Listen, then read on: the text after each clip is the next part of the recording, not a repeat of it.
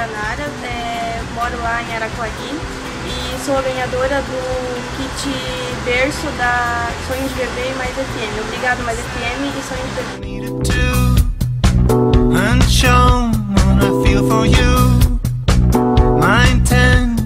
de Bebê.